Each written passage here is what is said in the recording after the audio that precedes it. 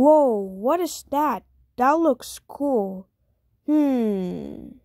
Hmm. I wonder what happened if I milk it.